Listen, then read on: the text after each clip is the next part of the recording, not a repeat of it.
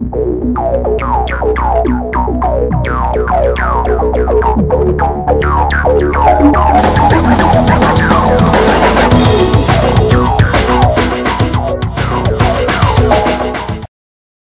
to set Firefox as default browser before trying these steps, make sure your Firefox is updated and not running on an older version.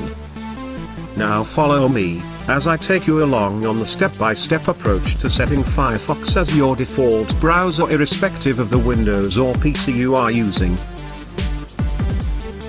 Open your Firefox browser. Click on the Firefox utility icon.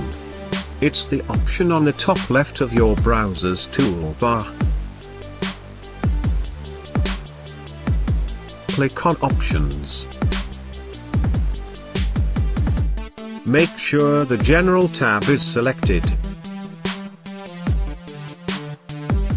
On the General tab, you will see an option Make Default.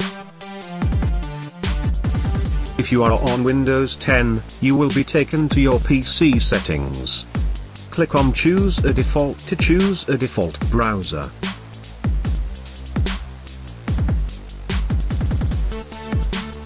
Select Firefox as the default browser.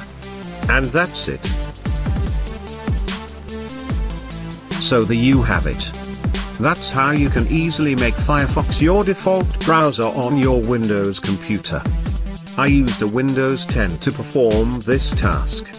Although this process or method of setting Firefox as default browser should be applicable to any Windows version.